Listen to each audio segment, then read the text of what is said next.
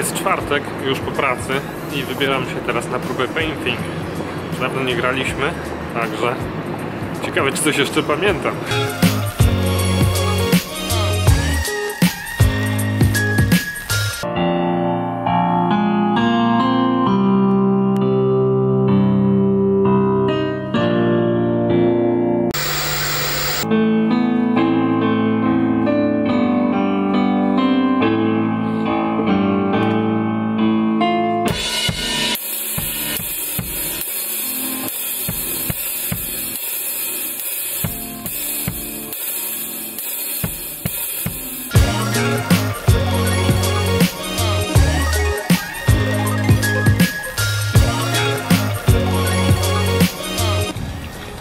Zagadka na dziś brzmi Jakiego zespołu piosenka nosi tytuł 747?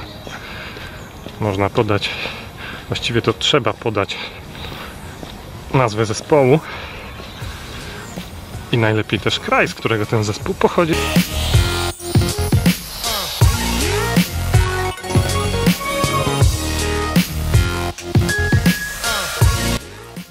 Dobry Państwu. Dzisiaj sobie porozmawiamy na temat, który bardzo bliski jest memu sercu. Po pierwsze, jako vlogerowi, po drugie, jako blogerowi, a po trzecie, jako muzykowi już od kilkunastu lat. Chciałbym z Wami porozmawiać na temat taki, że nie istnieje coś takiego jak konstruktywna krytyka, która jest wykonywana publicznie. Publicznie to znaczy przy innej grupie osób, albo na przykład w komentarzach pod jakimś tekstem, czy na Facebooku, w ogóle pojęcie konstruktywnej krytyki to jest takie trochę borderline w ogóle logicznie źle skonstruowane, no bo tak naprawdę jak się kogoś krytykuje, to się mówi, o słuchaj stary, robisz źle, no raczej z negatywnego komunikatu rzadko kiedy wynikają jakieś pozytywne rzeczy, a konstruktywność to jest coś, co coś buduje.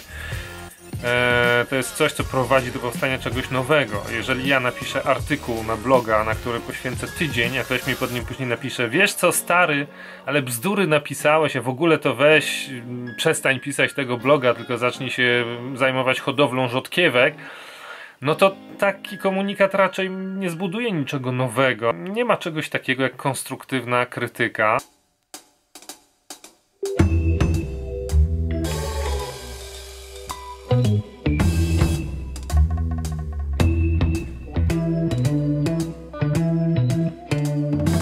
Kto jest bardzo blisko ze mną, kto mnie zna, komu ja wiem, że zależy na, na mnie i na tym, żebym ja był szczęśliwy, czyli właściwie mówimy tutaj o rodzinie i o bardzo, bardzo, bardzo, bardzo wąskim kręgu znajomych, przyjdzie do mnie i mi powie, wiesz co że moim zdaniem to tutaj mógłbyś zrobić to trochę inaczej i tak dalej.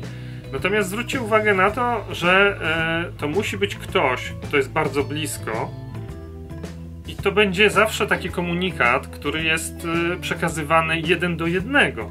To jest komunikat, który nie jest przekazywany na forum publicznym.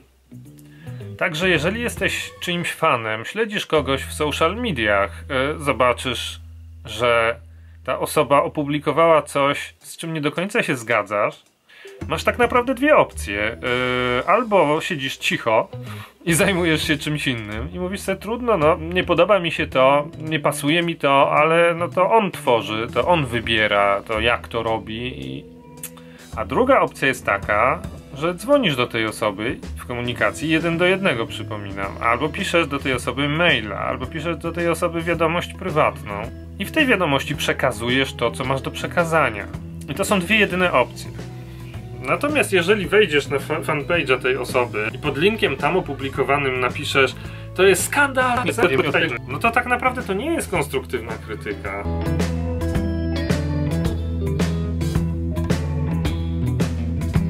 Jeżeli wejdziesz na fanpage'a zespołu, którego słuchasz, napiszesz na tym fanpage'u pod informacją o wydaniu najnowszej płyty kurde, zawiedliście mnie, kiedyś to graliście fajnie, teraz gracie słabo, a w ogóle to już się zestarzeliście i powinniście się rozpaść, to tego artysty nie przekona do tego, żeby zmienić stylistykę, żeby nagrać inną płytę.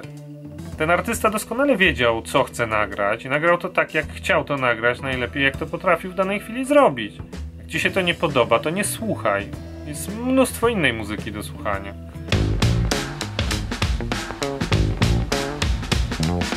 W ogóle na tyle trudno jest coś stworzyć, na tyle trudno jest wyjść ze swojej strefy komfortu i przekazać innym ludziom jakąś swoją twórczość, czy to będzie vlog, czy blog, czy płyta, czy nie wiem, wystąpienie na jakiejś konferencji, że nic konstruktywnego z takiej publicznej krytyki na pewno nie wyniknie nigdy i jeżeli ktoś się dopuszcza publicznego krytykowania osoby, czy to w internecie, czy na żywo, to znaczy, że tak naprawdę chce po prostu na siebie zwrócić uwagę. No i nie należy się tym przejmować. Zazwyczaj osoby, które się zdobywają już na ten krok pójścia z czymś do ludzi, na tyle dobrze mają to przemyślane, że taka krytyka nic nie zmieni. Nic dobrego dla tej sztuki, dla tej twórczości nie wyniknie. Także mam do ciebie prośbę. Następnym razem, jak zechcesz napisać jakiś komentarz w internecie albo obgadać kogoś za jego plecami, zastanów się nad tym poważnie i może przypomnij sobie ten odcinek mojego vloga. Nie lepiej naprawdę zamilczeć, niż później dorabiać do tego jakąś filozofię, dlaczego się krytykowało. Bo to wcale nie jest tak, że osoby, które zdobywają się na wyjście z twórczością do ludzi, to automatycznie godzą się również na to, że za to trzeba zapłacić cenę pod tytułem Będą mnie ludzie krytykowali. Nie. Za wyjście ze swoją twórczością do ludzi nie ma żadnej ceny do zapłacenia, poza przekroczeniem własnych jakichś tam ograniczeń, strachów i zrobieniem. Na razie.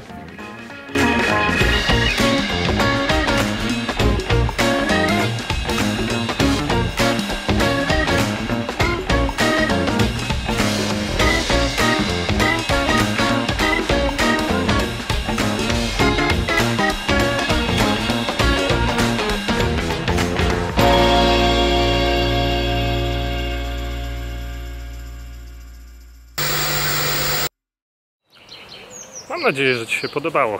Jeżeli ten odcinek był spoko, wciśnij lajka pod tym odcinkiem oraz zasubskrybuj kanał i kliknij dzwonek i puść info do swoich znajomych. Jeżeli masz do mnie jakieś pytania, napisz komentarz pod filmem. Na każdy odpowiem.